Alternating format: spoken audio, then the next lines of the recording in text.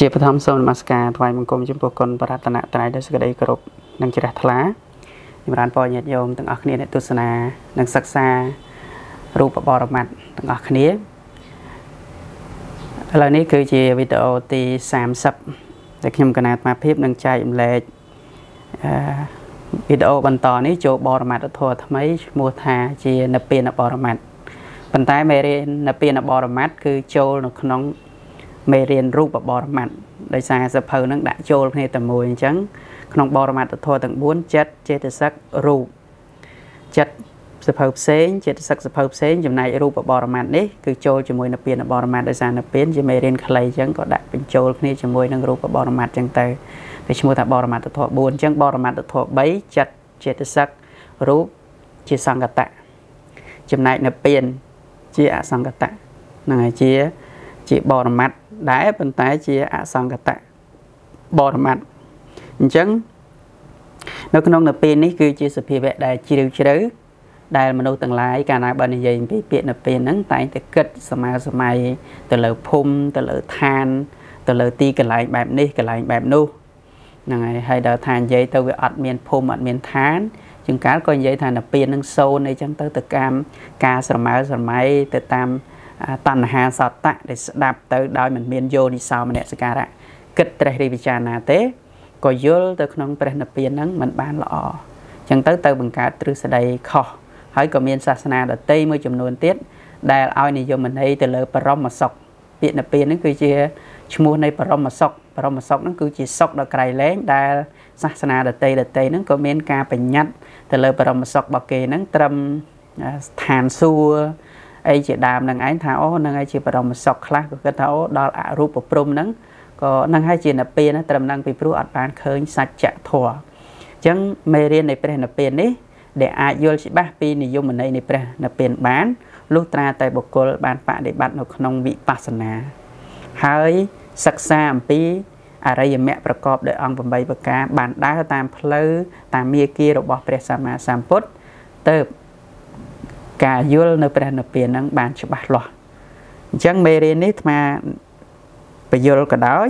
តែបើសិនជាយើងអត់ធ្លាប់បានប្រតិបត្តិអត់យល់ច្បាស់ពីនាមរូបទេ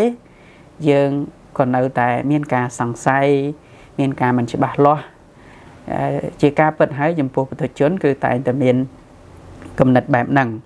ហ្នឹងហើយពីព្រោះយើងវានៅមានអាល័យច្រើននៅមានតណ្ហាច្រើនអញ្ចឹងហើយបានជានិយមន័យរបស់ព្រះនិព្វានហ្នឹង នៅពៀនហ្នឹងមានមានពីរបត់គឺមកពីនិនិងវេណៈនិហ្នឹងដែលប្រែថាចេញឬក៏រួចផុតហើយដល់តែបញ្ជាក់តិចរួចផុតហ្នឹងរួចផុតពីអីគឺរួចផុតពី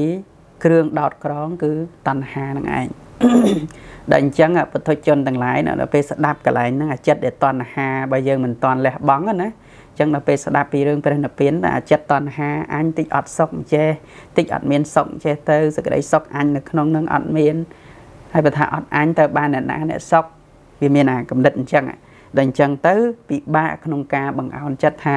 ព្រះនិព្វាននឹងគួរយល់បែបម៉េចអញ្ចឹងបានត្រូវ ជំហានដំបូងគឺត្រូវសិក្សាវិបស្សនាសិន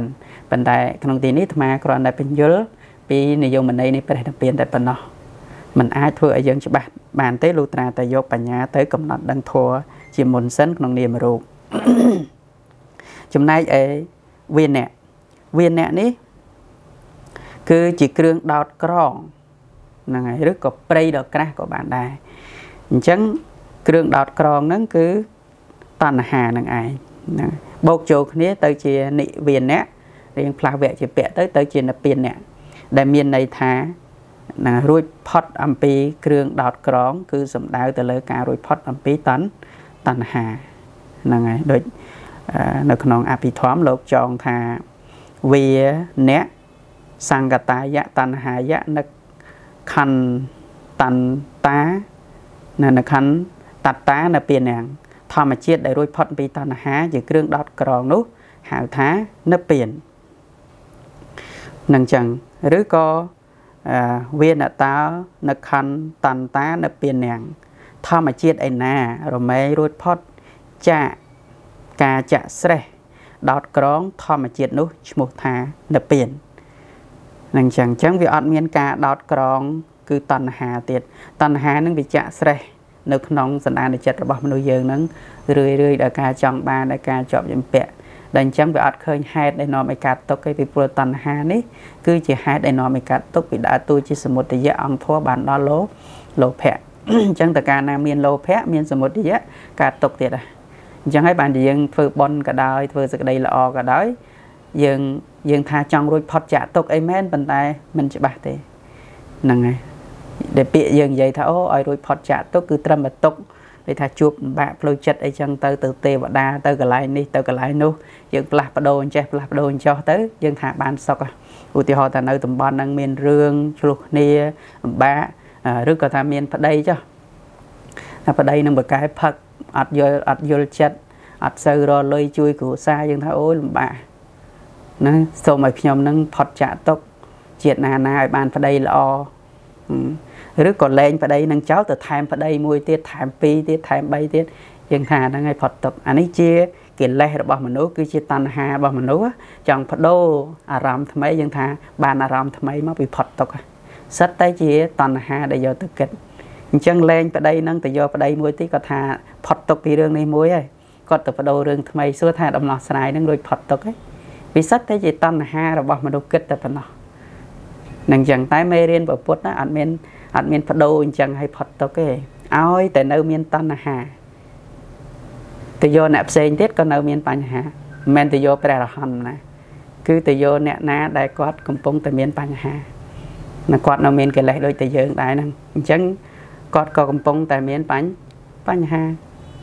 អញ្ចឹងសួរថាកិច្ចផុតអំពីសេចក្តីទុកនឹងបានទេគឺកិច្ចកិច្ចផុតមិនបានទេអញ្ចឹងនៅតែជួបទុកដដដែល អញ្ចឹងបានព្រះសម្មាសម្ពុទ្ធសម្ដែងពីអ្នកដែលដល់នៅព្រះនិព្វានហ្នឹងឲ្យឈ្មោះថាជាព្រះអរហន្តហ្នឹងហើយគឺបានអស់នៅអាសវៈធម៌ហ្នឹងឲ្យឈ្មោះថាជាព្រះអរហន្តហៅថាព្រះខៃណាស្របមកពីខៃណៈនិងអាសវៈនឹងខៃណៈនឹងអស់ទៅអាសវៈនឹងគឺជាគ្រឿងដេកត្រាំនឹងឲ្យឈ្មោះថាជាព្រះខៃណាស្របខៃណាសវៈនឹងឯងអស់នៅកិលេសអញ្ចឹងសរុបមកវិញព្រះនិព្វានហ្នឹងបើនិយាយអឺទៅមាន2ដោយសង្ខេបហ្នឹងហើយគឺនិយាយមួយក៏បានដែរមួយគឺមានការស្ងប់ជាលក្ខណៈពីរគឺសឧបាតិសេសនិព្វានហើយនិងអនុបាតិសេសនិព្វានសឧបាតិសេសនិព្វានដែលឈ្មោះថាសឧបាតិសេសនិព្វានហ្នឹងគឺសំដៅទៅលើកិលេសកម្មហើយនិងកិលេសហ្នឹងប្រកាន់យកនៅខណ្ឌ5ហ្នឹងគឺវិបាកហើយនិងកម្មជារូប ថាជាយើងអញ្ចឹងប្រកាន់ខណ្ឌ5ហ្នឹងថាជាយើង ដល់តែអស់នៅតណ្ហាលែងប្រកាន់ខណ្ឌ5ថាជាយើងគឺឈ្មោះថាបាននៅព្រះនិព្វានឈ្មោះថាសឧបាតិសេសនិព្វានអស់កិលេស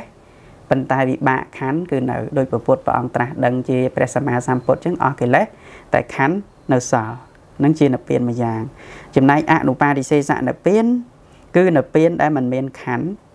មិនមានវិបាកមិនមានកម្មជារូប អីនៅសល់បន្តទៀតទេនិព្វាននឹងឯងគឺជាការបរិនិព្វានតែម្ដងដែលអស់ទាំងខណ្ឌអស់ទាំងគេកិលេសនឹងអត់មានសល់តទៅទៀតទេ រំលត់ខណ្ឌចូលកាន់បរិនិព្វានដូចព្រះសម្មាសម្ពុទ្ធឬក៏ព្រះរហន្តទាំងឡាយដែលលោកចូលទៅកាន់ព្រះនិព្វានអញ្ចឹងដែលយើងធ្លាប់យល់ថានិព្វានហ្នឹងទាល់តែអឺស្លាប់ទៅបរិនិព្វានទៅមែនទេ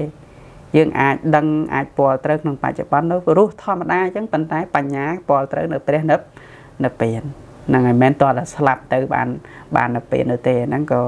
អស់ជីវិតទៅក៏បរិនិព្វានហ្នឹងចឹងទៅប៉ុន្តែក្នុងបច្ចុប្បន្នហ្នឹងអាចឃើញព្រះនិព្វានបានហ្នឹងហើយចាប់ពិសោធន៍តាឡើងទៅឃើញបានណាអញ្ចឹងមេរៀននៃព្រះនិព្វានហ្នឹងប៉ុណ្ណេះសិនហើយនឹងមានវីដេអូមានឈ្មោះនិព្វានផ្សេងផ្សេងទៀតនឹងចែកលេខពេលក្រោយណាសូមអនុមោទនា